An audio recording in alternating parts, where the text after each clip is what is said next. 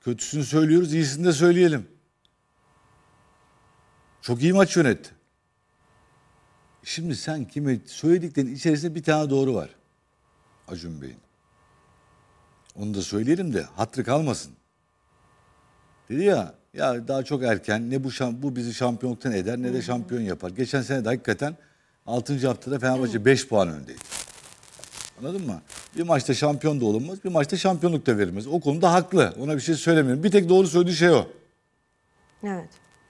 Fakat abi empati yapmayı öğrenmemiz lazım hepimizin.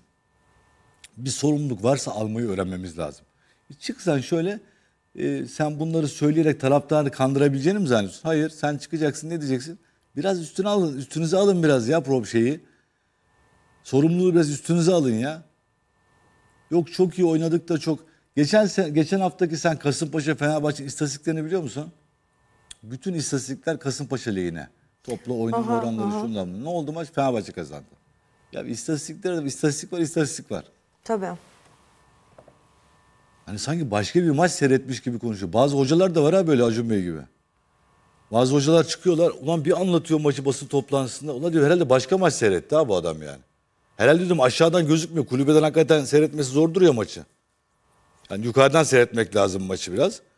Kulübeden seyrettince herhalde maçı görememiş adam diyorum. Çünkü bambaşka şeyleri anlatıyor. Biz ne yazmışız, ne çizmişiz, ne konuşuyoruz adam başka bir şey anlatıyor.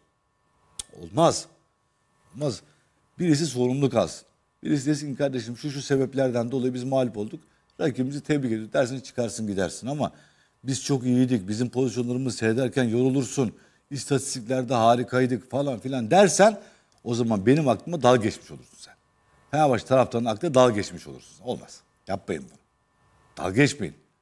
Kimse gerizekalı değil. Hepimiz maçı seyrettik. Aradım Galatasaray arkadaşlarımı tebrik ettim. Hakikaten hak edilmiş bir galibiyet yani. Evet. Galatasaray açısından.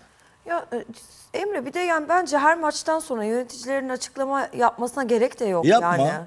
Ya bence de hani şu bence yapılmasa daha iyiydi. Yani böyle konuşacağına hiç konuşma. Evet. evet. Ya da çık konuş sorumluluk al. Hocan da sorumluluk almamış. E sen de Ha, sorumluluk evet, alma. E kim- ne, ne yapalım? Kim bu şey? Ha? Sen ha ben ha bu iğneyi kim sağ kardeşim? Birisi bir şeye bakacağız yani. Kim yani bu? Sorumlu kim? Bakıyoruz etrafımıza adam yok. Şimdi Acun Bey çıkmış biz iyi oynamışız. Maçı kaybetmişiz olabilir diyor. E, Mourinho zaten ortada yok basın toplantısına gelmiyor. E, birisi bir şey söylese de biz millet de bakınıyor böyle şey gibi şaşkın ördek gibi bakıyoruz abi. Acaba sorumluluğu kim alacak diye. Onlar kim alacak biliyor musun? Mourinho alacak. Çıkacak da basın toplantısına. Diyecek ki kardeşim bu mağlubiyetin sorumlusu benim. Bitti. Evet. Bir daha böyle hatalar yapmayacak dese daha çok taraftarın gözüne girer biliyor musun? Çünkü taraftar sever sorumluluk alır adamı.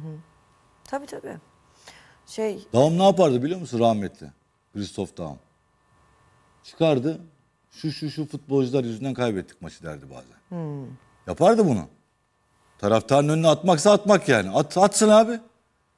Bazısı da diyor ki işte ben tara oyuncularımı taraftarın önüne atmak istemiyorum. Onun için sorumluluğu benim. Hayır at abi. Kimse sorumlusu atacaksın. Ne demek yani? Şuna görev verdim dediğim gibi yapmadı görevi. Buna görev verdim dediğim gibi yapmadı. Bu kötü oynadı. Bunu söyleyebilirsin ya. Zaten görüyor insanlar ya. Bu takımı satmak değil yani. Ne diyorum sana bak rahmet Dağım bunu yapıyordu. Eski basın toplantıları filan varsa işte YouTube'da şurada burada seyredebilirsiniz, bakabilirsiniz. Söylüyordu. Hatta Volkan'la ilgili neler söyledi ya Volkan Demirel. evet evet evet. Ben dedi Volkan'ı kalede görünce tüylerim diken diken oluyor dedi. Görmek istemiyorum dedi. Evet. Böyle açıklamaları var adamın yani.